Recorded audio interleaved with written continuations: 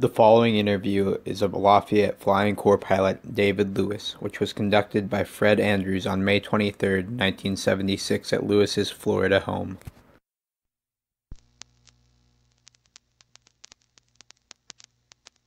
Nineteen seventy-six in Groveland, Florida, the home of David W. Lewis, formerly a member of the Lafayette Flying Corps, Escadrille SPAD 79, and later a member of the 25th Aero Squadron U.S. Air Service. On this tape, Mr. Lewis recounts a number of his memories of those days in France. I don't think John's ever heard the story about you receiving this Croix de Guerre. This is your second to the Palm, right? Yeah, this is one with Palm. And- Uh, well, of course, I didn't deserve it. Is that thing turned on? okay, John, here we go. I didn't deserve it, of course. There's so many people that did deserve it got shot down and killed.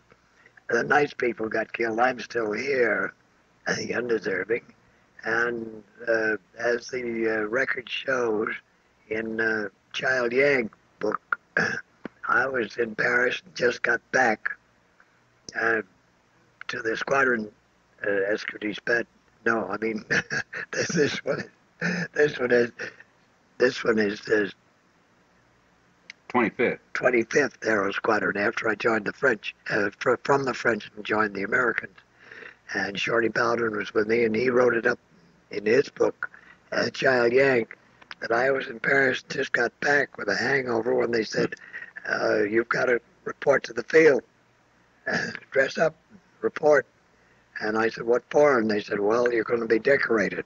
So they sent down this uh, French uh, uh, commander and uh, General Bullard to decorate us, and decorated one American pilot who really deserved it, and I, uh, an ex-French pilot, now American, and uh, they gave me the Croix de Guerre, and uh, we stood there at attention and had the whole troop lined up, all the uh, squadron mechanos, uh, while they presented these, and I was embraced by the French general. And uh, here you can see they're pinning in this in this photo. They're pinning the Croix de Guerre on me, and the and the upper one are standing at attention. Yes, that's after you had Yeah, it. yeah, there there it is. You were decorated Yeah. Yeah, it's hanging there now. Well, now, what did you receive the Palm for, Duffy? Well, the uh, the citation you've read the citation, Mhm. and it just said uh, uh, for uh, uh, flights uh, far into the enemy country and and uh, sustaining attack by four enemy planes and uh, managing to get the plane back, uh, Bal, uh, full of bullet holes, managing to bring it back to the line, and uh, for doing work uh, reconnaissance and uh, strafing the lines. Uh, it says in the, in the citation, uh, uh, somehow I managed to get back alive. Nobody knows why. Well, now, is this where you were shot down? You No. were flying a single-seater spad in this? Uh, I was flying a single seater. Well, uh, the citation was for uh, uh, working two seaters mostly. That's what I worked I in see. mostly. Then uh, when uh, just before the armistice, uh, after they uh, took uh, two seaters away from us, and we were doing a reconnaissance and making aerial maps. They took those away and put us all back in, in single seaters. I was the only one that'd been flying the two seaters in the squadron, as a matter of fact, the escadrille. And they put us back in single seater Spads. And so then I went out in the single seater, and that's when I got shot down. I was, um, I had a new uh, 220 uh, Hispano Suiza Spad, which I liked very much because I'd been flying 180. And this 220 horse would go faster, of course, maneuver well. And I was out with a squadron with some of our boys on patrol up in the Noyon uh, sector. And uh, my motor started to uh, cough a little bit, didn't sound so good. I was going to turn back when four enemy planes, Siemens Schuckerts, new type, jumped me. And uh, they were shooting the hell out of me. And of course, I was maneuvering and doing my acrobatics that I learned down in Pau on the Nieuport airport in Tresmet, which is the nicest plane I ever flew. And so I was doing those uh, spins and turns on uh, the spinning dives, the free, the R-I-L-L-E, in case you don't know how to spell it, and getting away from them and shooting at them. One time I was shooting point blank at one coming at me. We were playing chicken, and the Hmm. last one to turn, you know, uh, and so we both turned. And then there was one came under my under me, and just in front of me in the in this dogfight. And he was such a nice looking boy, this little German.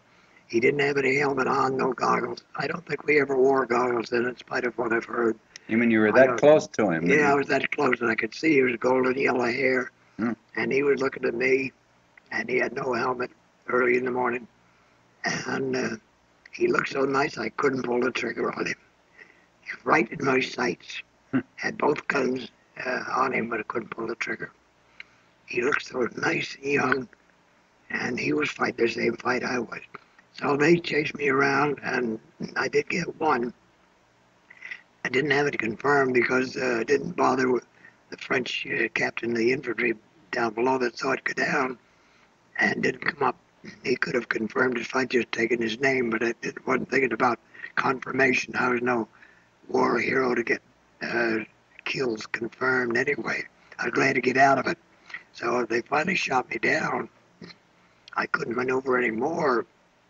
And uh, I came down, and with my uh, sense of direction, we had no compass, as I've told you, and that would meant, that meant anything. And fortunately, with the sun, I was heading toward our line. I landed between our line, and just ahead of the advance, uh, in a sort of an orchard, sort of a, there was a little bit of open space, and I landed there and ran up till the nose, nose of a plane, hit a fence, a wire fence, and I jumped out as best I could. My knee doubled up on me, and uh, they kept shooting at me. The remaining three, they While you were after you had crashed. yeah, after they crashed, they kept diving down and, and strafing the, me uh, the plane.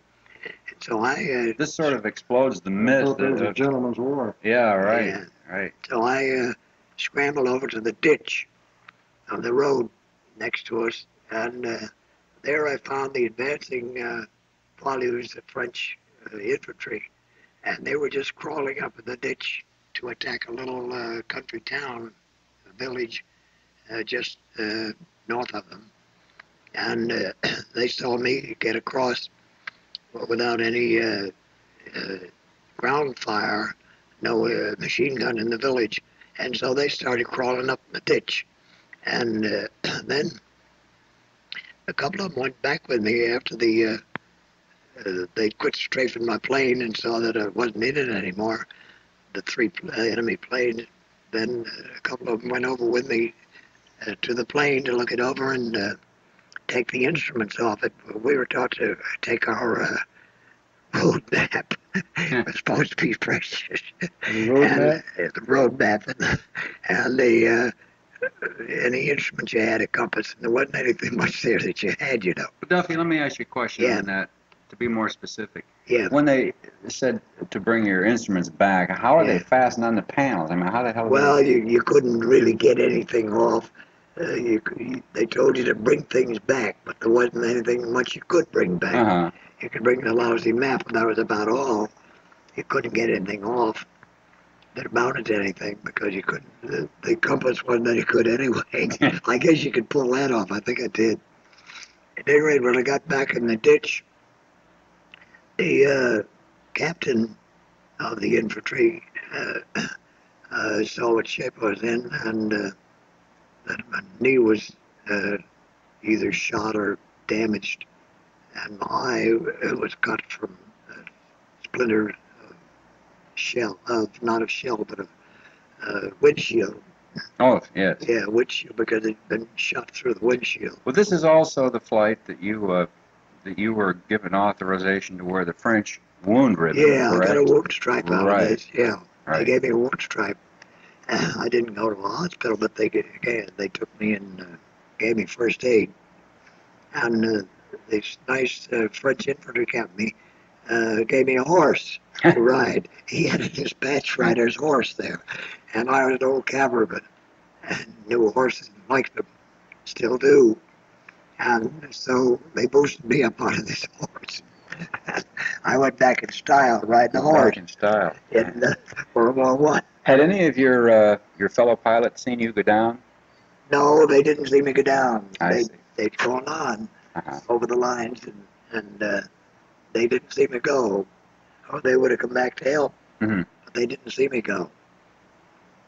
Good. And so So maybe you can give a few instances here briefly on that uh, book and autograph it. In fact, I've got really got two, one for me and one for my friend George Bannister. So all right. you write what you think. Well, I say, Whatever would be best. Naturally, write more of mine than you do his. what'd you say? no, I was just kidding you. Go ahead. You Well, bother you while you're writing. That's mine.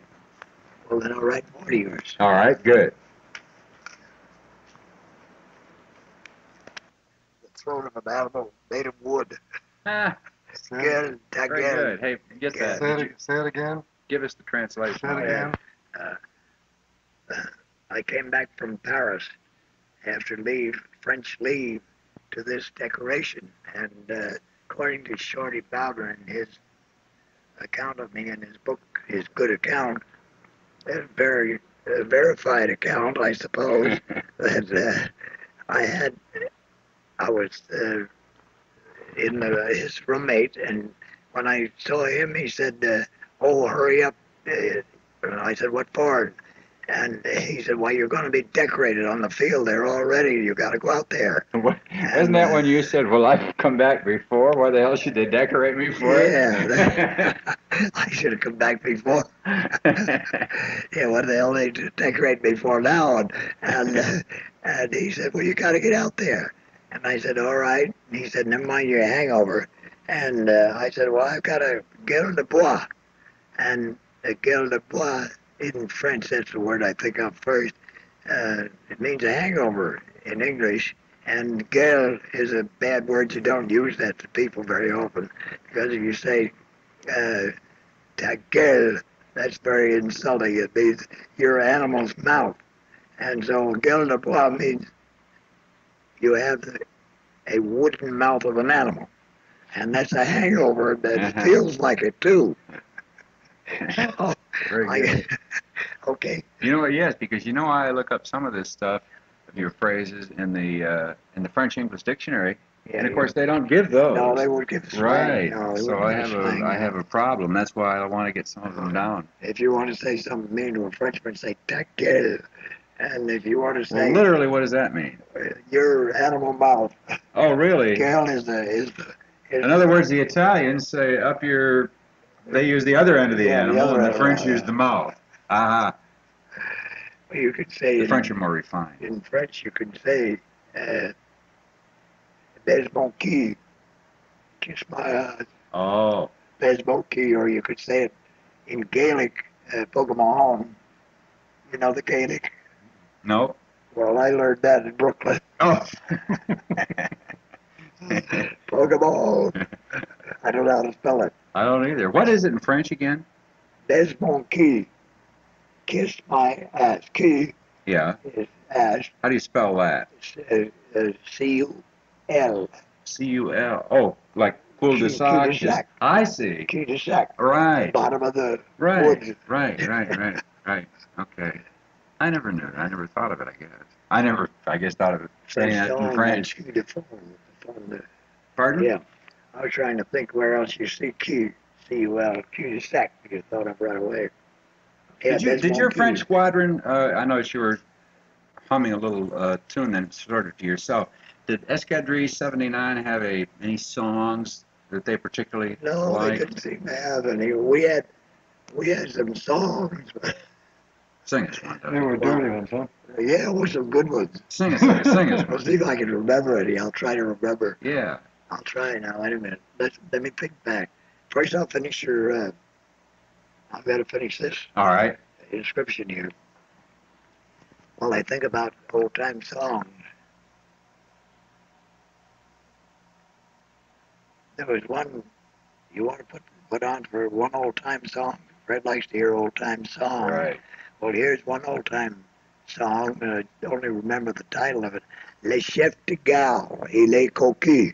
Le chef de gare, il est coquille. Well, naturally, he's coquille, which means he's uh, his wife's unfaithful because he's the the station master. and He's away at the railroad station all day, and she's at home, and that's time to flirt. That's a good old song. uh, over and out. Over and out. I'll think of another one. I, I wasn't there any song about uh, soixante-neuf? Oh, on the. Oh, yeah, that's fun. I had a. I, I wanted to be sure to uh, find out how they did it. So uh, I had a French pilot friend of mine uh, with a Galloway do in Paris. And I said, "Well, now show me just how the right technique." so he showed me the right technique. Yeah, she didn't mind, of course. Naturally. Was this now? Did you ever visit? Uh, there was a very famous house of ill repute Oh, on yeah. Rue Bray. Rue Bray, Ventia Rue Bray. Yeah, I was there, the very high class. That's what I understood. Now Oh, that's yeah. something I don't think you'd even see anymore. Is that correct? Well, I doubt it. I don't know whether you would or not. I could, I'll tell you about the whorehouses in a minute. Okay. So Let's finish the autographing Gotta here. finish the autograph here, wherever it says. Hey, Whatever you think. David W. Lewis. Lieutenant, U.S. 25th Aero. see what that- yeah, I was a lieutenant then.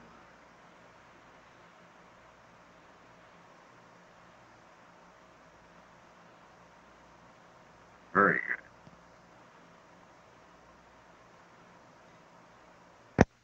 That's that's perfect. And then put down Lafayette Flying Corps, Yeah. right? That's good. I like that.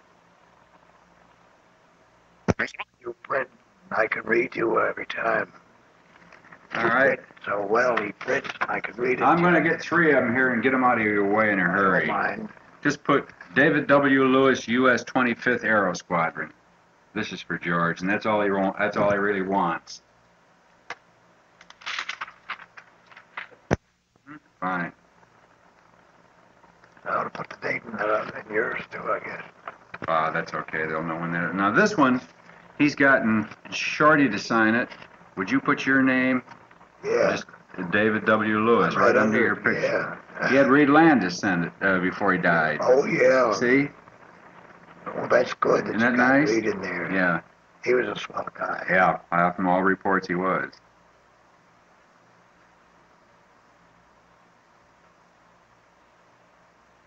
And um, Would he know which one he is? Sure, you got it right under your name. Now, over here, sign it. You you could draw a little arrow if you want to. How about up there? Sign it right up there, sure. Very good. Might as well take a little limelight anyway. There we are. Okay, sir? Now, Business. full business. Get this. Get these put away. Whether I misspelled anything. You want to turn this on? No, it is? Mm-hmm. Oh, you're It's on all kind of sneaky, aren't you?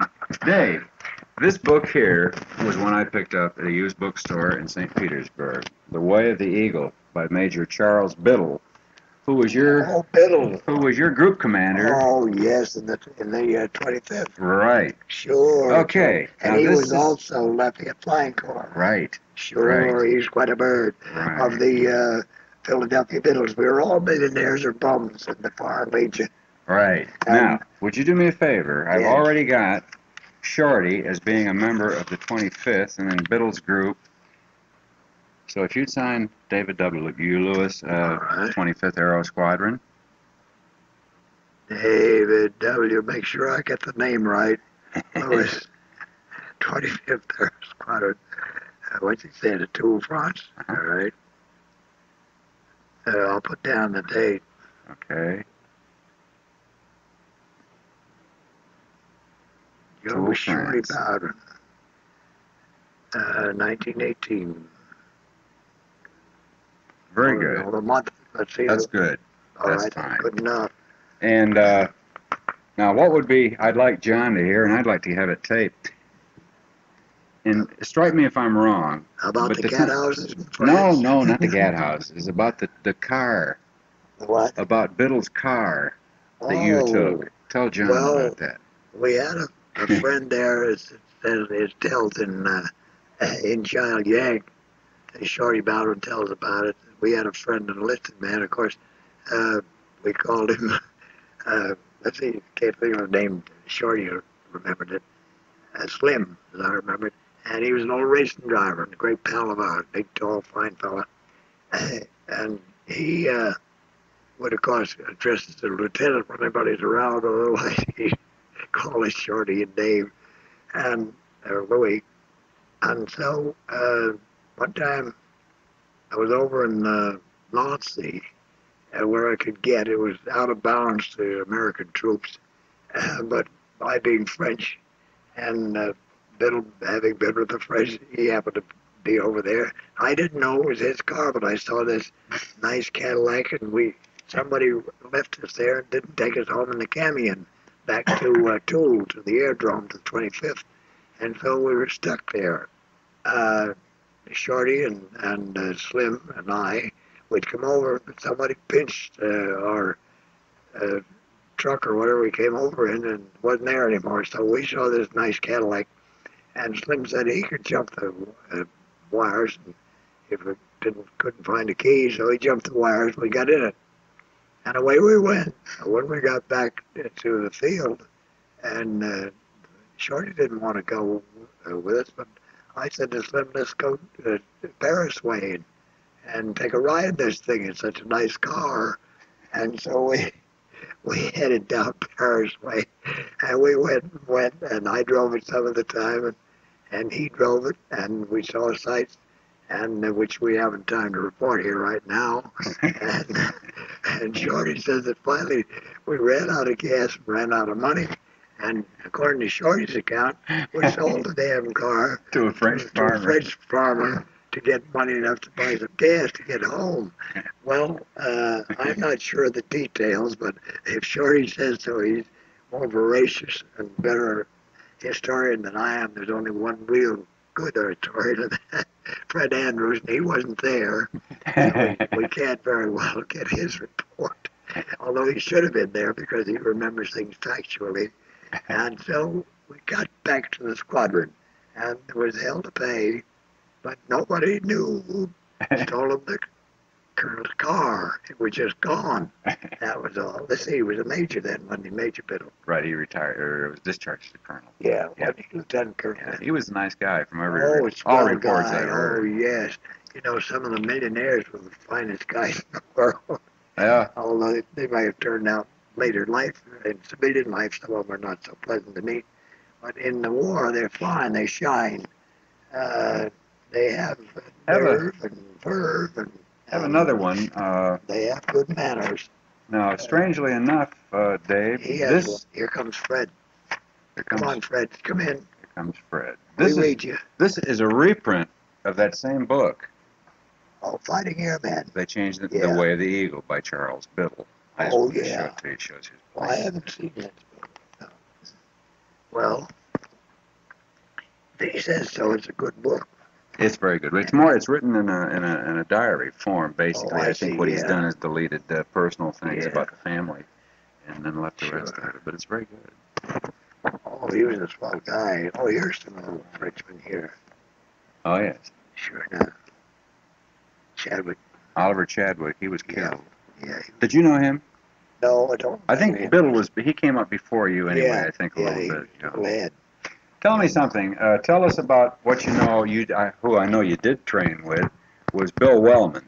Tell us a oh, little bit about. Bill Wellman. Yeah. Oh, was he a cookie? Uh, he was wonderful, Wild Bill. He uh, he was in training with us all at Avord, France, on the Blériots. And uh, as you know, the Blériot, you started on a roller uh, with clipped wings, just rolled it across the ground. Nobody ever went in the plane with you. You learned solo. To, all your whole training was solo flying. They couldn't afford a monitor because he might get killed, and they had very few of them. So we were Hmm. we were all solo trained there. You uh, you rolled the uh, around until you could roll it in a straight line and not turn it sideways over, and then they uh, had the wings a little less clipped, and you could uh, you could take it up uh, up and and land it just to go a short way and land it. It didn't have uh, wings enough to go far. Uh, it had a 45 horsepower motor in it. Same old plane that flew the channel first time, Blériot. And uh, then eventually, when you could uh, fly the thing enough, they gave you a tour de piste, a turn around the field. That means, and you could fly it around the field, and then you could. Uh, you had to fly it over the trees. and I very nearly didn't make the trees because I was thinking the instructions said to left rudder and left uh, uh, stick a little bit to make a turn, and I gave it too much. I just did make it over the trees and then hopped up in the air again, luckily. And so I made a sensational flight, which they wrote up in the Lafayette Flying Corps book by Hall and Nordhoff, old pals. What was it? What was it? Gene Bullard misunderstood. Oh yeah, Miss uh, G- Gene Bullard, uh, the one black man we had in the Lafayette Flying Corps. He uh, he didn't quite understand the directions uh, they're giving him, and uh, so he got up in the air, and he was uh, flying around the field, and he couldn't remember whether it was piqué or coupe. Now piqué means to uh, stick your nose down and and dive down, piqué. And coupe means to cut, to cut your motor. And he flew around and he couldn't remember which was first. Piqué, coupe, coupe, piqué, piqué, coupe. He kept saying up there in the air to himself. And finally he came down and he, he, he managed to make it, but he never did recall what you were supposed to do first. he was a swell guy, this black boy, the only one we had. Brave guy, he'd been in the infantry and had been shot up, but managed to make the flying. And uh, well, I was going to tell you about uh, old wild Bill Wellman. So while we were in training there, in between flights, and on the day when it was too windy and cloudy for those little baby planes to go up, say, "Oh, that's fine weather. We can, we don't have to go up today." And uh, Hmm. uh, it's a fine day, bonjour. We say, "No flying." And so we'd go out and play uh, duck on a rock. Well, I never did learn out how it's supposed to be rightly played, but at any rate, there's a runner and a, and a rock and a, and a stick or something, and you're supposed to run. Well, Bill modified the rules, so instead of throwing a stick at a runner, you threw a rock at the runner. And all his life, he's modified the rules until he got to be a famous uh, writer of uh, and director of movies in Hollywood, and uh, wrote so many, uh, directed so many good movies. And uh, he uh, one time he saw Jack Brown, another old flyer from those airport days, in New York, uh, outside the old Hippodrome, and they'd been in there to show or something, and and as they came out, uh, Bill saw Jeff, and Jeff hailed him, and, and he said, "How you doing, Bill?" And Bill says, "Fine," he said with his roar. He roared like a bull. He says, "I'm in my fourth wife." And Jeff said, "Oh," said so. And Bill looked around. He said, "Gee, I better not talk so loud. She's following us out." and old Bill, he sure was wild. I think that him. was at the preview of the that the famous World War One aviation film Wings. Oh which yeah, Wellman wings. directed. Yeah, that's that's what it was. That's yeah. really what made him. That's where it was. The Right. wings, yeah, the, Right. that was where it was. As a matter of fact, that's what he seeing that saw movie? Jeff. Do you recall seeing that movie yourself? Wings, yeah, I recall seeing it. Yeah. Was it uh, factual or a lot of put on? Well, it was both. It A little was, bit of both. yeah, it was. You know, one of the troubles they did with those those uh, first World War movies, they were almost all with the with the British Yeah, or Americans, but very few involved the French. yeah, they did. the one they did make about the Lafayette escadrille, so Yeah. it w- was horrible. I mean, it was. In fact, it was one of his movies. Yeah, he yeah. Absolutely ruined it. It's too bad. But he was getting a little Yeah, there's Bill bad. uh, Wellman's book there, Wild Bill. Yeah, well, they didn't have the facilities here. They should have shot them. Well, they should have shot them at the time when we had the Yeah. planes over there, Yeah, had yeah. the people. right. Instead of that, they shot them over in Hollywood. weren't any good. But Wild Bill was wonderful. Oh my, he sure was a character. But he never was. I enjoyed meeting him. But that's where he uh, he picked up the name Wild Bill over there, then, yeah, right? picked up over there, Wild Bill. I think it followed him all through his life oh, because sure, he was sort of think a it did, maverick. Yeah, sure. I picked up the name of Louis because they used the last names in the uh, 25th Air Squadron. Uh-huh. Well, what, they corrupted your last name. Because Shorty Bowden, he was short. They He- called him Shorty. Right. Then he was younger than I could hear, so he was a child Yank. Was Avord the first place you uh, took flying lessons? Levor, yes. At Avord. Avor, Avord. yeah. And uh, what was the other place that was famous for uh, Well, Oh, World War One training? well, we went down to Pau and trained for acrobacy down Pau next to the Pyrenees. Mhm. That's where we trained for acrobacy. Well, they uh, they had uh, the Americans had fields there, you know. But there were two. There was another big French field, though, and I can't think of the name of it offhand the myself. Bourget, Uh, Not Le well, that wasn't training. No, No, the Bourget we landed there. No, I, I- used to land there, there. there was two early ones. Uh, Avord, and then there was another one. Oh, uh, you know let me it see. well as Well, do. the place at Belleville was where we were was assigned before we went to the front. before you went to the front. in Belleville. Pau is for combat or acrobatics. Yeah, we we trained. But We there, kept there, training John's there. right. There is another one. I can't think of the name of it What myself. but, uh, stages of training did you go through? Well, we we went through at Avord. We uh, trained completely on uh, Blériot. Basic flying. Yeah, and the Blériot had a 45 horsepower motor, as I guess I told you. And uh, we had clipped wings, uh, then for the first class, and then rouleur when you rolled it. and uh, then uh, clipped wings, you could fly it off the ground and land it. And then uh, we went from there. We uh, were combat pilots, so we didn't. Uh, Just barely learning to fly it. yeah, You put you right in yeah, you had to, you had to, then we had to uh, go down to Pau, uh, down near the Pyrenees, the Pau field, and there we uh, learned co- combat and, and acrobacy. And there we had to uh, do the free and the Immelmann turn and uh, renversement. All of those, I only know them in, in French, really. Duffy? Reversement like this. Yeah, renversement, that's it. A, What do you call that? Climbing Uh, turn or something or other. Emmelman. Immelmann, yeah, Immelmann. Yeah, they had German names for it. Duffy, this is uh, one of uh, Wellman's books that he wrote. And the first war, Go Get 'Em. Oh, yeah. This is a, an autobiography, but this is about his wartime experiences.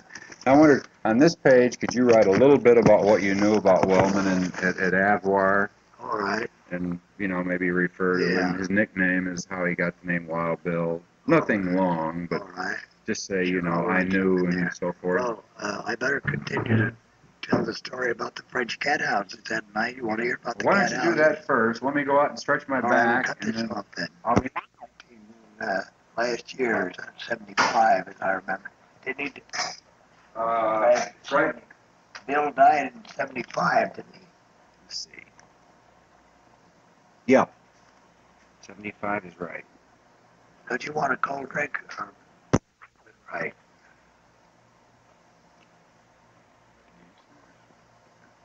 The way I look at it, you have, yes, sir. You're better at it than I am. I And on this one, Duffy, could you just, uh, I've stuck, in fact, I stuck a, a letter of yours in there about Bill's death. Could you just wrote, write that, uh, I took training with, uh, Bill Wellman at Avord? Oh, yeah. What else? Let us talk about the cat house. Oh, the cat. Probably. Surely all of this information is secondhand, right? Oh, yes, not firsthand. Why, yes, I, I, they told me about these places of ill repute in Paris. Of course, they were considered good repute at the time. and uh, I'll tell you, uh, it was, it was a, it was a feast before of the famished people. It was terrible, really. You see, uh, France uh, lost one million men in that fool war that they fought. As all wars are fool wars. Nobody wins, and uh, except the ammunition makers. And so the politicians and the, the head men. So the poor nice guys get killed. Well, this one didn't. He wasn't nice enough. But to tell about the poverty in France, uh, the, the uh, young men were all killed off. There was nothing left but the old men and children. And uh, so the women were in uh, bad shape for attention and uh, for someone to tell them they were pretty and lovable. And they were saddened. Men had gone and got themselves killed. And so they were all over. Beautiful widows uh, who uh, had no consolation. We tried to console them as best we could. Some of us didn't have French. Luckily, I learned my French from them and from the Foreign Legion, and I could get around quite well. And so, uh, most of this, of course, is secondhand. That as John tells me, Hmm. uh, it's all. He said suggested that I say it's all secondhand, but some of it might be first-hand information. At any rate, uh, Fred just asked me if I went to the fancy uh, bordello, uh, the uh, that the uh, Rue Bray, 21 uh, Rue Bray in Paris, which had uh, glass chandeliers and nice music and very high class. Yes, I went there mostly sightseeing. It was because uh, it was it was uh, such a fancy place. Duffy, you're going to make me laugh when you say mostly sightseeing. yeah. Fred is laughing at that sightseeing. oh, I can tell you so many things. Oh, Duffy, I think I was I think I was born too late. I should have been there with you. You should have been with me. You, you two of you flyboys should have been cruising with me around there. You would have had a time. I could take you to places that were unbelievable. I could take you to Lily's Bar. Now, if you've never been to Lily's Bar, you probably never go, probably not there anymore. But Lily's Bar was all lesbians in there. All the girls were lesbians. And the most beautiful girls you ever saw in your life.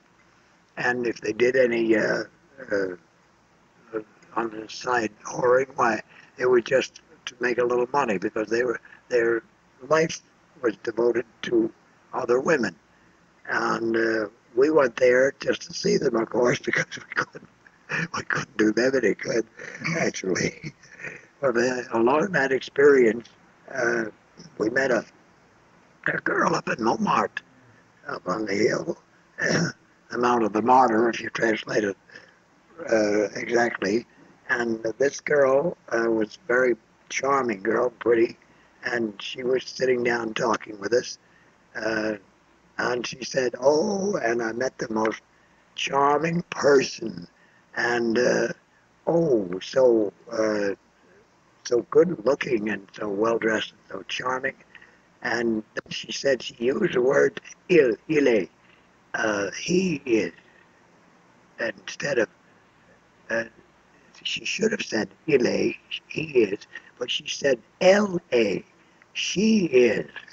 And right away, we said, well, are you? And she said, well, yes, I'm a lesbian. Ah. I only, she said, I only do this other thing uh, occasionally to try to make some money so I can eat. but she said, of course I'm a lesbian. She's a beautiful girl, too. Well, then, talking about eating. So here was my old friend Tom Hamilton from Nyack, New York, who used to be in the American ambulance with me. And uh, he was the only uh, Yale man in the Harvard section that he was our commanding officer, took us out to the front of the Vosges Mountains back in uh, 19, when was it, 1914. 14. and uh, Tom, uh, great big, uh, six feet five and a half inches, hulk of a man, and he uh, eventually, well, let's see, this is when he was in the ambulance. We were up near the Place Vendôme, and we were in some little old drafty cold hotel, and uh, Tom was in a in one of those short beds where it was hard for him to get his feet in or had his knees pushed somebody out. But somehow he managed to get. That was right after uh, the Germans had invaded Belgium and pushed them all out, and there were the little Belgian refugees were there, and there were two little cute little girls in bed with Tom, and he was there doing nothing but snoring, and we got him a sandwich or something to drink and so I said, well, what good does this big uh, fella do for you in bed, little girls? Uh, qu'est-ce qu'il peut faire pour toi? And they said, oh, uh, he keeps us so warm, you know. It was damn cold Kind there. of pathetic. Yeah, Yeah. and then they were climbing on him and just to keep warm. He didn't do didn't do anything for him otherwise. He uh, didn't he become an officer in the tank, British oh tank Oh yeah, corps? he did. Yeah, oh he was he was quite a bird. Did he Yeah. die down here? died right down here in Englewood. Yeah. He came down uh, after he retired from uh, Wall Street. Uh, he got a job in Wall Street eventually. And he uh, retired and came down here to Englewood and went to aboard with uh, Doris's mother Hmm. down on Elm Street. And Quite a bird, old Tom. Oh, he was a bird. So he uh, Hmm. uh, he, uh, he tired of uh, ambulance corps as, as I did. We should have stayed in it. That's the best thing in the world. You're doing good there. So he decided to join the British Army. And so he went in London recruiting office and they said, Where were you born? And he says, Scotland. he was born up in Nyack, New York. but Scotland fitted him all right. His family originally uh, Scotch, English. So he got into the British Tank Corps. He eventually got to be a, a second lief- lieutenant, and he would have been a first and got the other pip uh, on his shoulder. but unfortunately, he kept up a correspondence with me. He and the French, and the British, and I and the French, and the illegal correspondence. But I, being Foreign Legion, knew how to do it. And we weren't supposed to give out where we were stationed. But we used the civilian post, and we could write letters to each other. I wrote to my friends around in France. I'd write to him in the British Army and others that I knew and get an answer. And so we got together and we met uh, at the railroad station and we took off to Paris. And we were gone about four days or more. AWL. He from the British, and I from uh, wherever I was. I guess I guess I was a test pilot then with the American. Yeah. And we took off, went to Paris. and Oh, we had a hell of a time. And we did, you know, because he was so big. And, and he'd say, now wait till we see this uh, French general salute us. And he would, there'd be a little French colonel or somebody coming down the street. And old big mammoth giant Tom, he'd salute him, you know. And the French general would look up and salute. We liked that part. Well, then uh, we were staying at the Paris Nice Hotel near the Folies Bergère. I think I've told you, Fred, all about this. No, no, this we is new. Well, Tom and I were staying at the Folies Bergère uh, nearby hotel, the Nice, uh, Nice, and uh, we were getting uh, air raids there, and uh, they blowing up the town, and they were they uh, dropped a bomb around the corner. Tom was uh, and I had a room together there and they dropped this bomb around the corner and blew up a house. And so, before they blew another one, uh, all the little girls, they were all English girls, as a matter of fact, in this troop in the Pony Bear Bergère. And Tom was sleeping with the with the leading lady who uh, uh, rode the white horse. Came in, she came in scantily attired on a white horse to finish the act. You see, Tom was sleeping with her at the time. And uh, along came the bomb, and uh, all the uh, little girls came running down the hall and said, Oh my God, what do we do? Oh my God, where, where do we go? And Tom said, Come right in this room. It's the safest place in the hotel. He said, You see, if you go up on the roof, you're going to have all those shell fragments drop on you because the anti-craft is banging away up there. If you get down on the first floor, no good. One will land in the street and it'll blow out the first floor. He said, come right into here. So damn, we didn't have the whole tribe of them in there, in their shirt tails. all these little English girls. As a matter of fact, Larry Dowd, one of our uh, old uh, French flyers in the Lafayette Flying Corps, Larry Dowd married one of these girls in the uh, in the Folies Bergère, a nice English girl, and uh, he liked her very much. And then he had the misfortune to get himself killed. Yeah. And she went over after the war uh, to visit his folks over in this country, and uh, she uh, told me afterwards. She said, "Oh, I couldn't make the grade uh, with them." She said because they were not my people, not my class. She said I was just a poor girl from London town. And she said they were very wealthy people, but entirely different uh, Hmm. system than mine. She was nice about it, you know, so she just went back to England. Are we all through? No, no. Oh, I had my finger over the throttle. Well, let me see, we were, they were in their shirt tails. Well, uh, how much can you put on this? Can you put all words that you Mm. doesn't make any difference? Mm-mm. Doesn't, you're just you two read Just it. us two. All right. Well, so uh, old Tom was sleeping with his uh, head lady of the course, The one that rode the white white horse. horse. She'd be neat.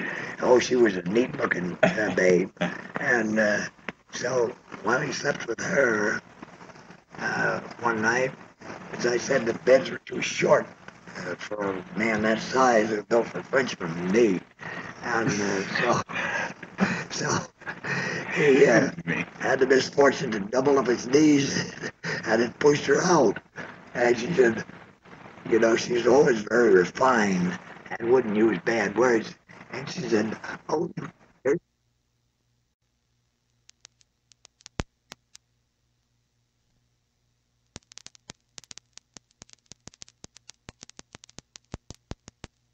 No, didn't say that. and for that, and for that, old Big Jeff got to laughing, and he broke wind. and that was worse yet. Oh, she said, I can't stand it in here when you can imagine that great big elm on that bed. oh dear, we had the most music excitement in there. Well, that's how he on that AWL he lost his other pip and didn't become a first lieu- lieutenant. He would remain a second Duffy. lieutenant. When you got back, it seems so when I first knew you, or maybe I was reading some of Tom Hamilton's letters and that material you gave me. When you came back to the United States, did you were you in jail for going A- AWOL? Well, let me see. Uh, Got to figure out how many times you were in jail. oh God, let me see. The French. Now this was after the war. Yeah, back in, uh, yeah, I was, let me see, I was down in, uh, uh, where the Star Spangled Banner was written. And, uh, down By Francis Scott Baltimore. Key. Maryland. Baltimore. Baltimore. Yeah, I was in, uh, uh, Fort McHenry. All the lousy fort you ever saw in your life. That was it. I was in a, uh, we were in a hospital there, signed there, in uh, Fort McHenry. And uh, I went out in the kitchen. I drifted around, of course, the way I would. And there, the cockroaches over the door were festooned with ropes. I never seen that before. Did you ever see that, John? Did you, Fred? No. Never saw cockroaches that way.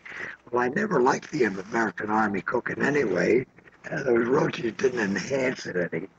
Over in France, the the French knew how to cook, and if they didn't, they didn't have anything to do with, you know, and they'd go out and pick stuff in the fields, and Herbs. they'd go gather snails or anything you could find, and vegetables and and uh, things out the woods. But the Yankees, they take the most beautiful, expensive food, And the last thing they'd do would open a can of tomatoes, I don't know why, and pour that cold tomatoes over the top of everything. It was, it was lousy cooking, I'm expensive and no good. Uh, well, let me see, so And the cockroaches. yeah, and the cockroaches. Oh boy, they didn't keep things clean, you know. To suit me, French kept stuff clean, and had nothing but to eat.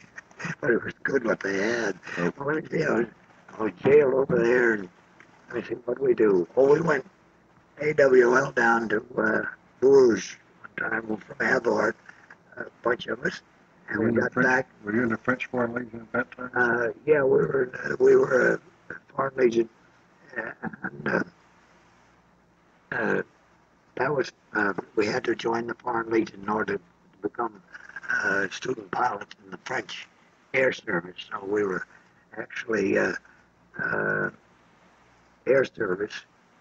We were well, foreign legion was a stop to the Germans because they didn't want Americans fighting against them. You see, and foreign legion, you're no nationality at all. Mm. You're you're not French.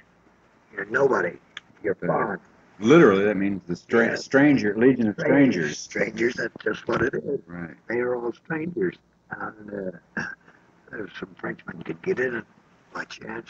We had a American Army deserter in it, and we had many millionaires. As Yeah. I said, we had a fellow jump ship, Porky Flynn, and uh, he jumped ship. He followed the sea. I followed the sea. He said. So he got in wrong with the French because you mustn't do this. He uh, sold equipment to a uh, to a Russian pilot. He stole some of his French flying equipment.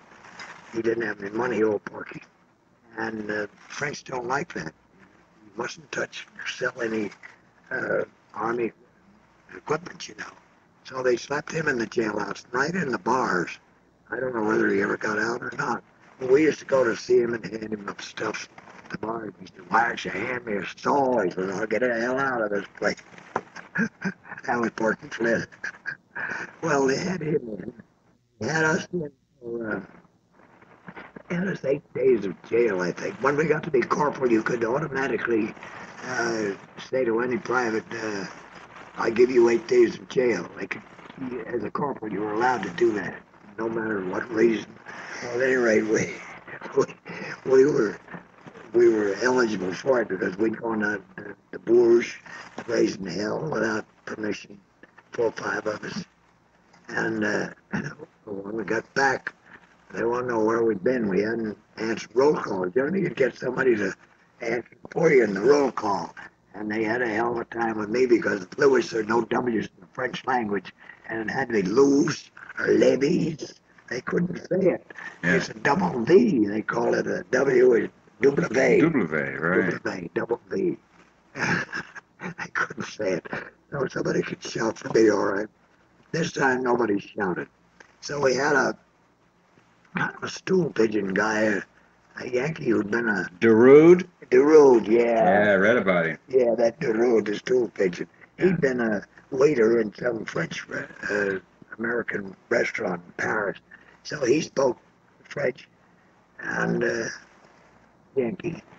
And so he uh, said uh, to us, uh, the captain, uh, let's say, the, well, whoever it was, uh, not a captain, it wouldn't be that high, somebody uh, had us lined up with Yankees and said, uh, who was it that was down the bush without permission? And the road started to say, uh, he started to name us off, you see, in French. And I said, Mon commandant, uh, il ne peut pas, parce qu'il n'est pas ici à la l'appel. And I said, he can't tell the names of them because the road was not here at the roll call. And said, he didn't have anything to say to that because he had missed the roll call, see? But they had us on a previous one. and they, they gave us all eight days of, of uh, prison. But then, uh, because it was war and we were in training, uh, flying, they didn't uh, tell us to serve it. Would go on our record, but we didn't have to serve our eight days. But I got of the road on that one. because I was the only Yankee that could speak French. well, he started to tell who was there, and I said he couldn't. Do you remember how many hours of flying time you had Well, not a hell of a when, lot. when they finished training? we didn't have so very much, you know. Uh, I had a carnet de vol. That's a, a, a carnet is a book of flying, and I kept track all the flying time. But I don't know where the damn thing is now. Of course, I can't find anything much. I didn't give it to you, did I? I No, carnet de not vol. that. What was the last field you took training? That's what Well, let me see. I joined.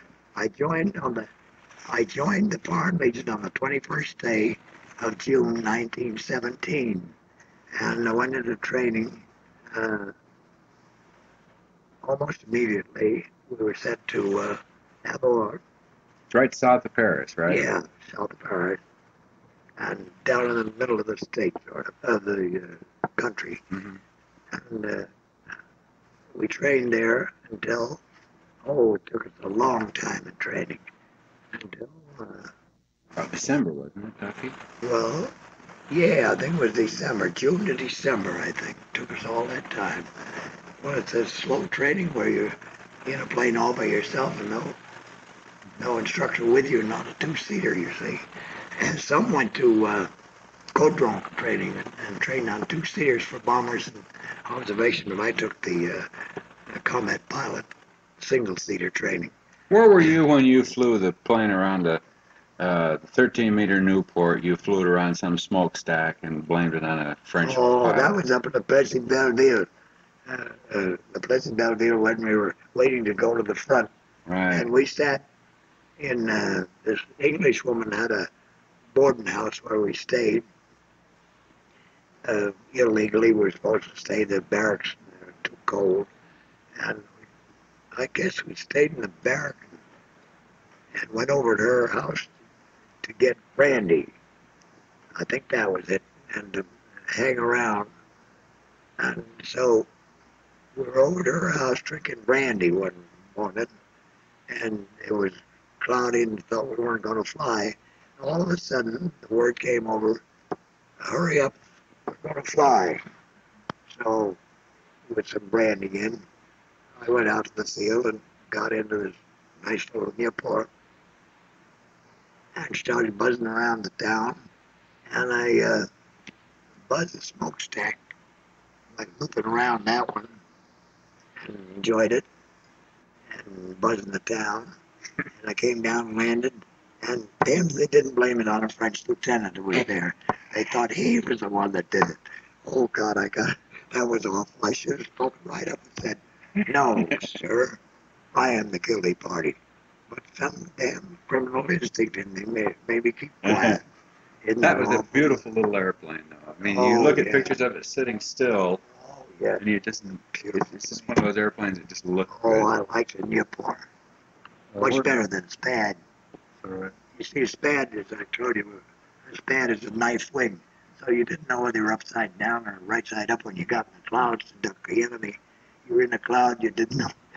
To, to, unless your wings slipped, you didn't know whether you what side up you were. Because uh, no horizon indicator, you call it. Yeah. Well, we didn't even have a word for it. Right. What was the first combat field that you went to? From, from training. oh, from training. I went up, uh, 79. uh, I went up to, uh, uh, yeah, three Spat 79. Somebody was killed in that, so I took his place, you see. These were all Frenchmen? They were all French. I was the only Yankee in there. And over in the next field was Roufran. He was the only Yankee uh, in that French squadron on the same field with me. Didn't they call them Groupe de Combat? Group to And there were how many squadrons in each well, there was only two of us in that group. Oh, really? In that there was group? only two uh, squadrons, yeah, 79 and whatever Roufran was, I can't remember now. What kind of aircraft were they flying at that time? Why, uh, we were flying, Bad. uh, we were flying Spads. They're designated, if it's Escadrille, Spad 79. SPAD, SPA Yeah, right. 79, or it can be N, which would mean Nieuport. Nieuport. There's a whole list of abbreviations, and, and the abbreviation naturally is the plane that the, the squadron Code flies. Where But was this- Duffy, wasn't your squadron the only squadron that was flying both single seaters and the Breguets at the same time? Yeah, that was it. Because others, uh, squadrons did bombing and, and uh, reconnaissance with two seaters. But ours, uh, they gave us a couple of two seaters. First, they gave us a SPAD two seater. I didn't care for that so much. Uh, wasn't as good as the Breguet. It wouldn't go as high, and it wasn't as fast as the Breguet. So they gave us that, and they wanted somebody to fly a two seater. Well, I said, I'll, I'll fly it. and so I flew the damn thing and uh, liked it to go fine. I liked the pilot, uh, liked an observer behind him. And I had this, it's pictures in the Child Yank observer. I wish I could have found his address because I used to correspond with him. And uh, Michel, uh, Marcel. uh, T-Bone. yeah, Marcel T-Bone. Yeah, T-Bone. Oh, wonderful guy. He'd had his left arm about shot off in the infantry, and they were using all these people uh, because the French were running short of, of, of personnel, you know, to, to fly or do anything else. So they put him in the flying as an observer, and he had a twin Lewis gun in back of me, and boy, he could use it. We, uh, I remember one time when he had uh, four or five Boche planes dove on us from the top. Now, they never should have done that if they'd been wise. They'd have come up under our belly. Instead of that, they were diving and shooting at us from the top. And I saw, that was the first time I'd uh, been shot at in a two-seater. And I saw these uh, where you could get a chance to see stuff. And by the way, I never wore goggles. I'm damn sure I never did. Yeah. I don't think A I lot ever of them didn't. yeah, I don't think I ever wore it. And uh, so I could see the tracer bullets going right over the observer's head, right over our plane. And I thought, I thought it,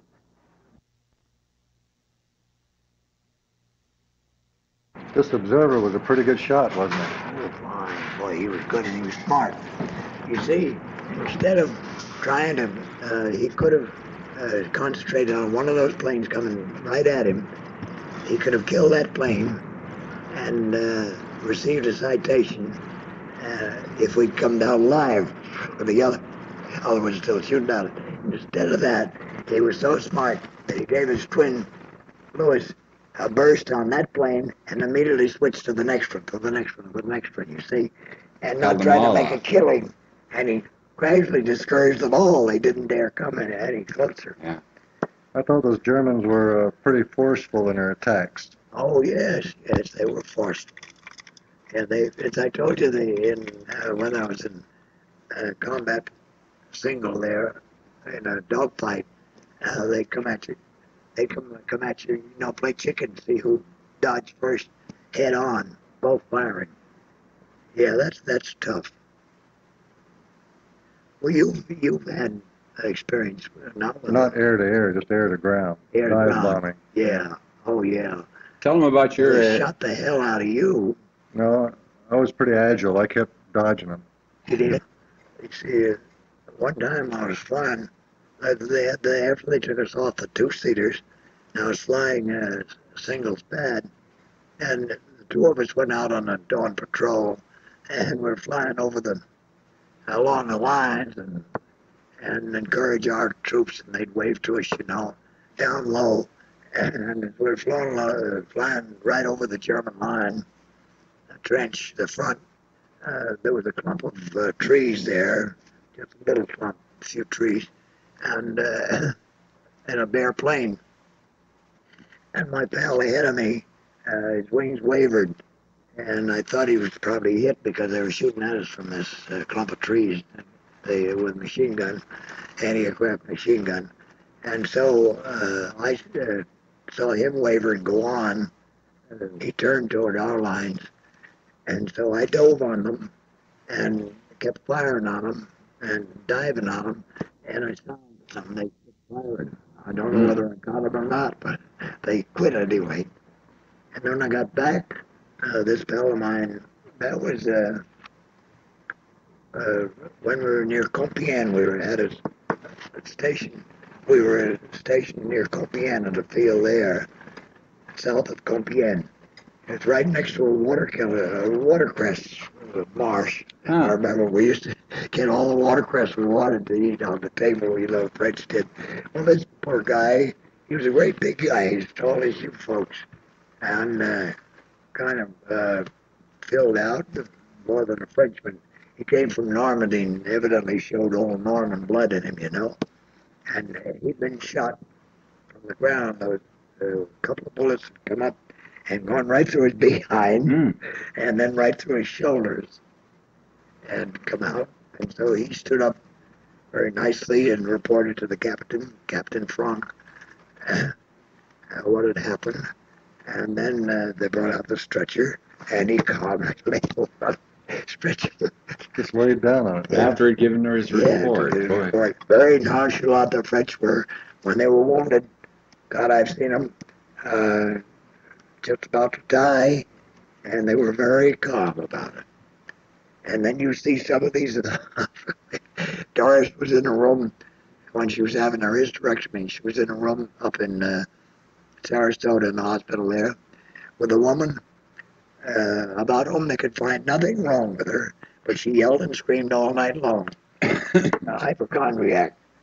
I thought of these guys I've seen God, without a word. Gee, I never have liked hypochondriacs. Well, the first field that you were at in that French squadron, where was that located? Well, that the first one. Let me see. We were on the Noyon Montdidier sector. Noyon Montdidier. Right. Well, Montdidier would I'm be the west and Noyon to the east. Right. And uh, we were the first field. We moved around, and let me see. I remember I tried to get you to do that on maps. Yeah, It have was hazy. finding them.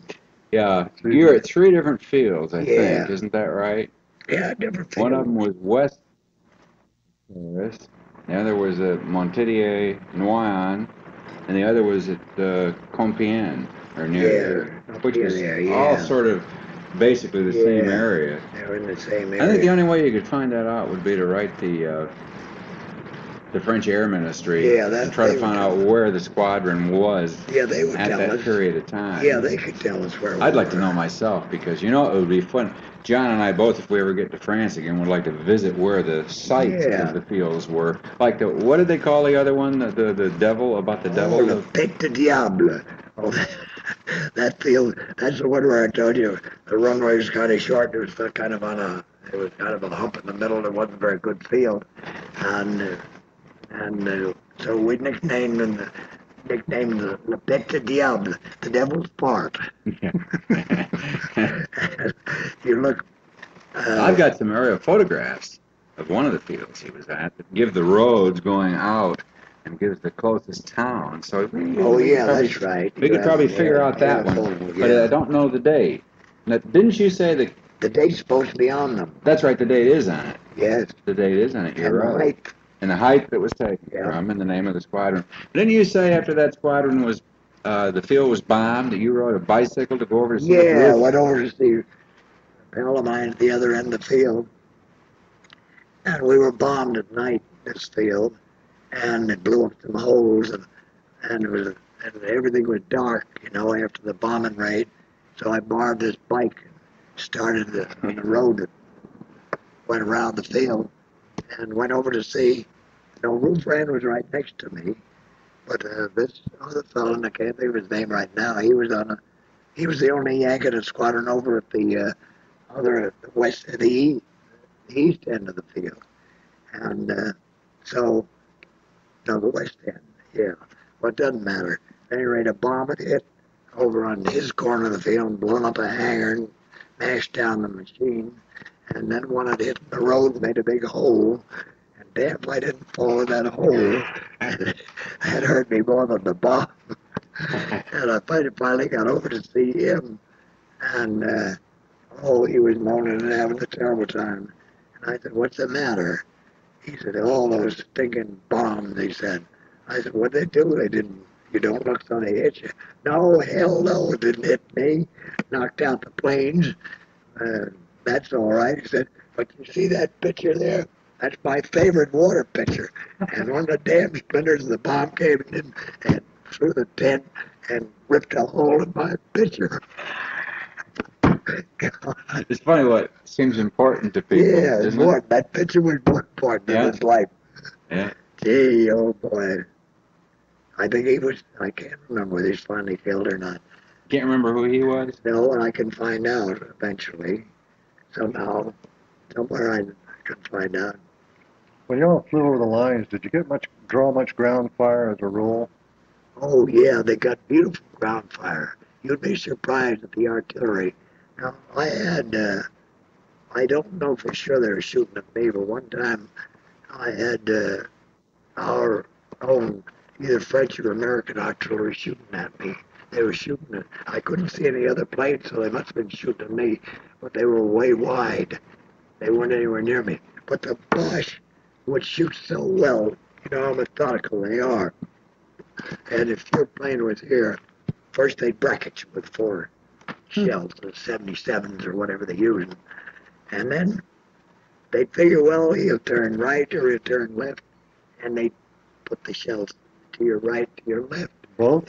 Yeah. Figuring that you wouldn't go straight. You're going to turn to one. Yeah. Then they, evade. then they, they, they, they'd figure, well, if you went straight, then they start, they put some in front of you. Uh, And uh, they figure, you know, how you so what would you do? A reversement? Well, yeah, I would. Uh, I generally try if they were both sides and in front, but then I'd try climbing.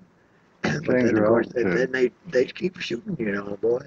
Change your altitude. right? Yeah, change the altitude. They'd uh, they'd uh, they were very accurate. They brought me down once uh, over. Uh, let's see, Montdidier, south of Montdidier. But I managed to come back to our lines because I say I was over the sun. Did they knock your engine clean out? They knocked the engine clean out, yeah, so I had to coast in Glide in. and, and I glided in and I found it. Luckily, I found a good landing field. What kind of plane was that? A Spad or a? That was, uh, let me see, that was a SPAD, yeah. That was a SPAD single seater. That's after back Did they SPAD. recover those airplanes or did they leave them there? Well, they recovered everything and, and tried to fix them up, you know. And then, and then, uh, before the armistice, uh, Shorty and I uh, were assigned. He was pulled back from the British, and I was pulled back from the French just just before the armistice, a month, month or so before. And we were were waiting formation of the 25th, right? yeah, we we're waiting formation. Yeah. So we were test pilots at uh, Colombe-les-Belles, uh, which translated means Colombe of the beautiful women. We didn't see any beautiful women much. But uh, at any rate, it was a nice town. And uh, we were test pilots there with the uh, first air depot, they called it. And that's where I said I wouldn't fly a DH-4 because my roommate, a test pilot, ahead of me was killed in one and burned up. And But didn't you have a Breguet set on fire while you were in the air? Oh, Or catch a I had a. No, it wasn't it wasn't a Breguet. It was a. Let me see. Salmson? Shorty told me about that. I Yeah, don't I had one. ever did. It But caught fire in the air. It had a motor I didn't like, and uh, it's one I hadn't been flying. Now I was going, I was going to take it to Paris to, to uh, exchange it, as I remember it. As soon as I called him Bell, you said it had a Fiat engine in it. What? It had a Fiat? a Fiat. That's the You one I didn't- didn't like. yeah. Had a Fiat motor. I didn't like it.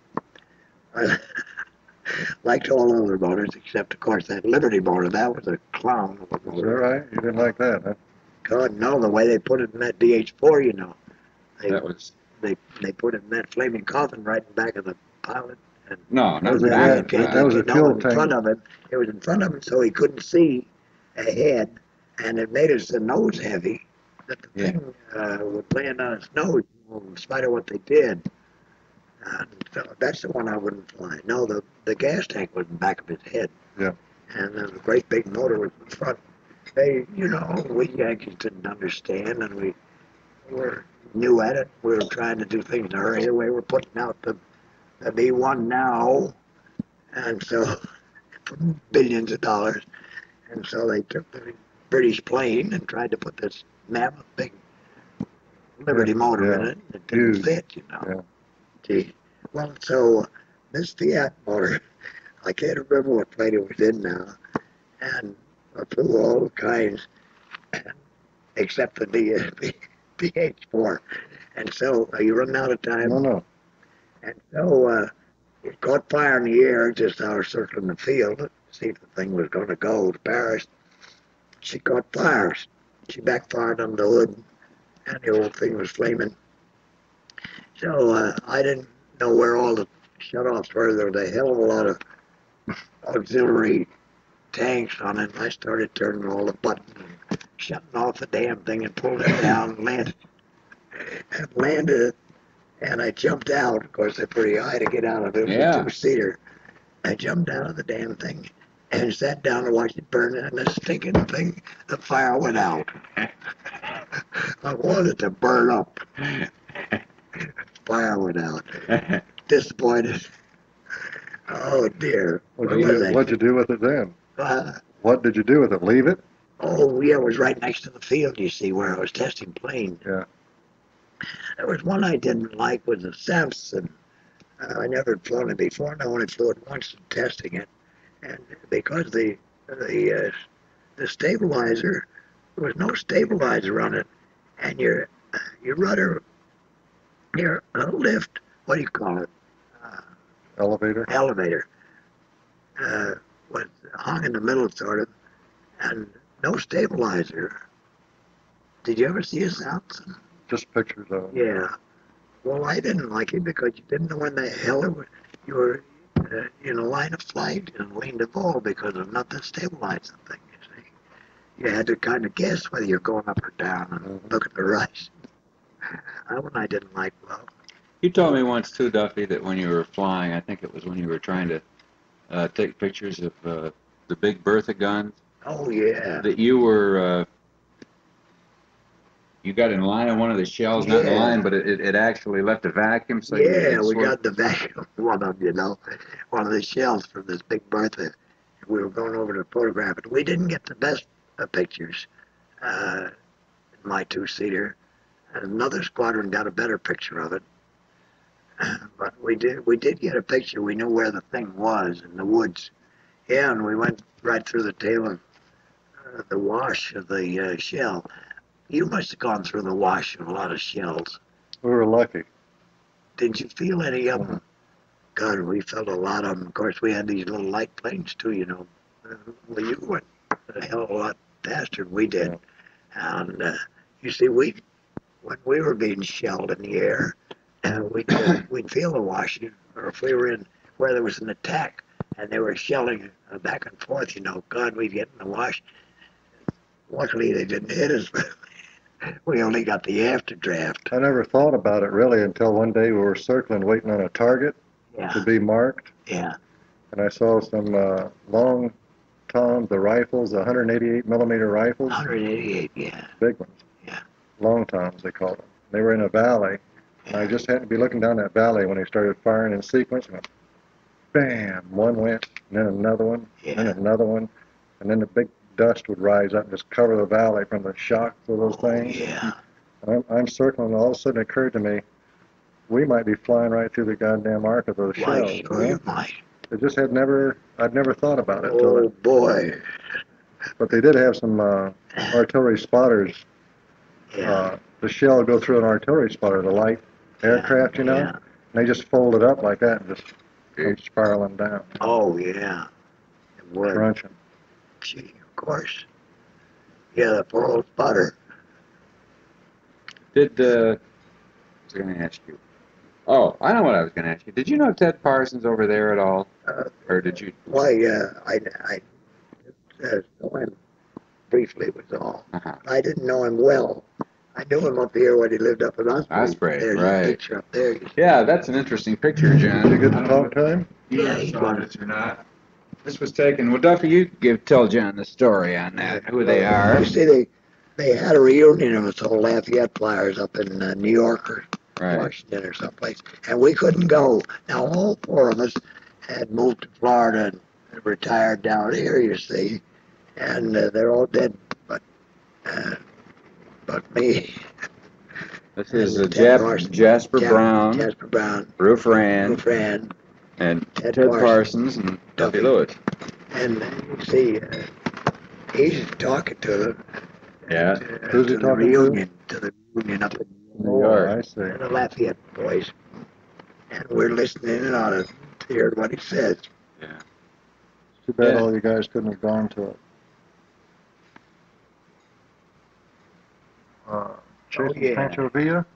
I was, I was down. Yeah, they were supposed to chase Pancho Villa, but How did, actually, how did you was, get involved in that? well, uh, there was a friend of mine uh, enlisted in the in the uh, in the uh, New York militia, and we were assigned to the uh, uh, headquarters troop in New York City, and we'd never been in an army before. Squadron A. Well, that was later. Oh, that was yeah, later. yeah. I was assigned to the headquarters troop as a as a uh, quartermaster sergeant. Not uh, no, wait a minute, sergeant quartermaster corps. That's the difference. Mhm. Sergeant quartermaster corps. Oh, that was a fine rank. You see, I had a sergeant thing on my arm, and uh, we carried a big 45 gun. God knows what for. No reason at all. We used to shoot at rabbits with it, and. Uh, down in Texas when we got to Texas. Well, we were stationed with General Jack O'Ryan in the uh, municipal building in New York City in Manhattan. And uh, I thought sometime that I might want to fly. I was always afraid of height on a step ladder or any place. So I went up the top of the municipal building and walked around the parapet, scared the hell out of me, looked down at, at Chambers Street down below and the, and the City Hall Park over there. And, and it was about 20 stories high or whatever it was. It scared the hell out of me. Didn't do me any good. I, I'm still scared of Heights still heights. scare me, except in a, yeah, except, on the plane. airplane. When we're separated from the ground, we don't mind the damn it Right. being tied to the ground with a damn Oh, step ladder or a stool or anything. I don't want to. You trust the airplane, but you don't trust the, I don't trust. the step ladder, the stool, or the building. Don't trust the, the building or anything. Right, That's a fact. Uh, you know everybody feels that way just about? I wonder. fly? But we flyers, we cut off from that fear entirely. Yeah. The higher the better. Sure. When you're down near the ground, you're more apt to hit something. well, so we had a nice uh, racket that uh, this fellow had been over in uh, Eustace Brown had been over in the in the ambulance corps with me. That's how we got into this thing. He was a writer, and uh, What'd you do, go to the ambulance corps first? yeah, I went to the ambulance corps in Yeah. 19, yeah, 14. Was it 14, As 15, a- then you as were a came civilian? back. As a civilian? Yeah, as a civilian, yeah. We went over civilian.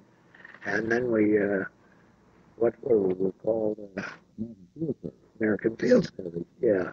They're very good outfit. They still exchange students. Right. And we have some here in St. Petersburg and, well, in uh, Sarasota anyway. Yeah. They've had exchange students sponsored by the American Field Service. American Field Service was very active in World War II also. Yeah. Then you came back. And Then I came right. back. I was over there six months, from June to uh, to December December in the uh, field service. Then I came back That and was I uh, or 15, which was it? 15, 15. 1950. Must have been 15 because the war didn't start till August 14. Well, that was the, the war they started. Our the Americans started the Well, yeah, but you were over in France before the Americans ever even thought of getting in. Yeah, we we were with the ambulance over there, Yeah, and then uh, 15, and you came back here. Sure. It was 1915 you were over there then in first, '16 I was with the uh, down in Texas. down in Texas Late from 60s, June yeah. to Right. December in Texas. What part of Texas was that? down in Fort McAllen, down on the Rio Grande. And uh, that is the, Was that infantry or that, that, no, I was with this uh, headquarters troop of the, uh, of the, quartermaster? yeah, I was a Supply. sergeant quartermaster corps assigned to Supply. General Jack O'Ryan's troop, you see. And uh, we did all kinds of, we're supposed to uh, do paperwork and drive in, machine, uh, cars for the general and stuff like that, you know. And uh, carried this big gun for no reason at all. As I said, How did you like being stationed down there? huh? How did you like Texas? Oh, it's the asshole of death. Tell them how you got in Troop A. That's it. That's the best Oh part. yeah, so uh, gentleman Jack O'Ryan was a uh, he was a strict prohibitionist, and uh, like Jack O'Ryan they called him, and uh, he uh, didn't want anybody to do do any drinking in his headquarters troop. So uh, we went down to uh, town to the Spick village and call it Spicks. We call the Mexicans. They're nice people. We shouldn't call them that. We always call it anybody that wasn't a Brooklyn Yankee was always something low down, you know. Uh, Guinea or Bohunk, or Bohonk and, and uh, let's see what are some more words. niggers, Yeah, niggers and uh, geeks, Yeah. gooks. I mean, Oh, gee. there's a lot of them. a lot of them, and the, the Jews were Yiddles and all kinds of nasty names. And they called us, uh, let's see, what they call us, uh, Britishers, I forget it. So they had some name for us too, but doesn't matter. Any rate, Jack O'Ryan was again all drinking. So some stool pigeon saw us uh, boys uh, having a beer downtown in McAllen, Texas.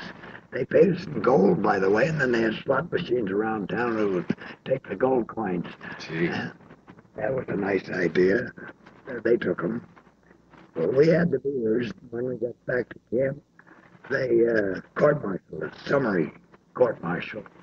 And uh, this nice uh, captain said, uh, I hate to take the stripes off you. And I said, that's your job. You're supposed to degrade me. And so he finally ripped off the chevrons. And I knew somebody there, a colonel, who was with Squadron A. He was on the headquarters staff. And so I said to him, well, they were all glad to know me because I'd been over in France to see some of the war, you know. And so they were nice to me there, they headquarters, all except the general. And, and uh, so he said, well, uh, yeah, I can recommend you over to Squadron A. He was a Squadron A person himself, you see. Uh, horses appealed to me, and uh, farm boy raised.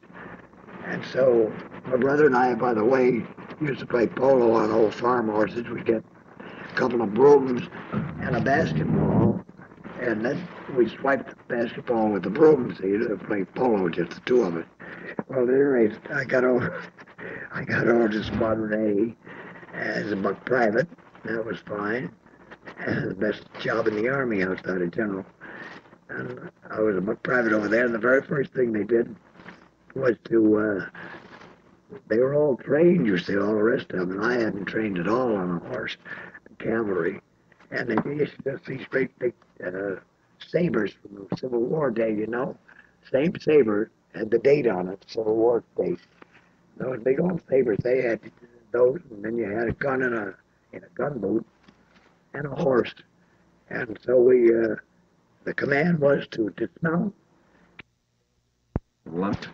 And so we, uh, the command was to dismount and fight on foot.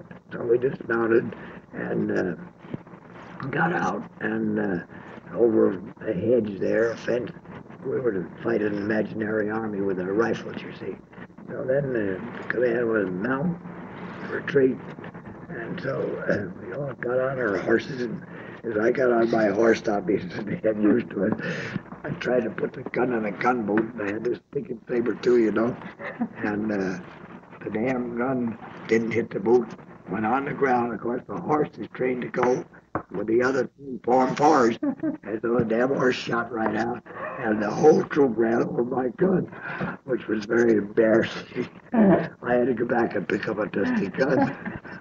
Well, we had a we had a damn saber charge, and you pull this stinking uh, old Civil War saber, point it over the uh, horse's ears, and go this wild charge. And they say charge. Well, the horses hear that, and they don't hear anything else. They run away. They don't give a damn, you know. They love to kill. So zoom, you got this damn saber sticking out. I was thinking, suppose that thing you fall off and it goes through you. It has. yeah, but we made the charge but the horse got tired. He stopped. God, I learned about horses there, all right. That was fine.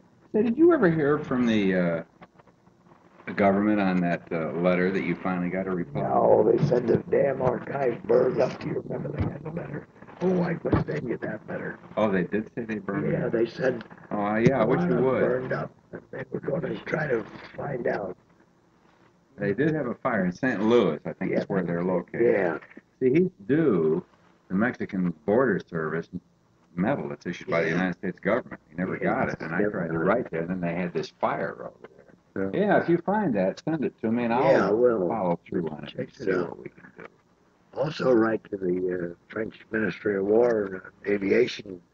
Yeah, see if we can get that location Yeah, of those location. fields. Those, you know. You can do it better than I can. You have secretary. Yes. You don't use them, do you? Use my, I'm my own secretary. Duffy, what day is it and what year is it? This is the year. So the moose. Oh, Are we done? Huh? We still got Yeah, time? yeah. Okay. Oh, we got plenty of time. 21st of May, 1976, and we're at Duffy Lewis's home. 23rd today. 23rd, I'm sorry, overlooking beautiful Lemon Bay, on which there are very many white caps. And Fine. We'll let Duffy sign off.